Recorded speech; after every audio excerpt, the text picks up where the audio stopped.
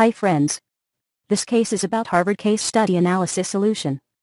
International Financing.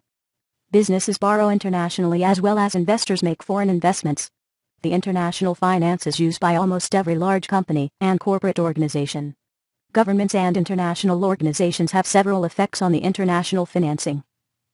Tom's 2012 The policy that affects interest rates, exchange rates, and the global economic conditions place high risk in such financing options. Thanks for watching this video.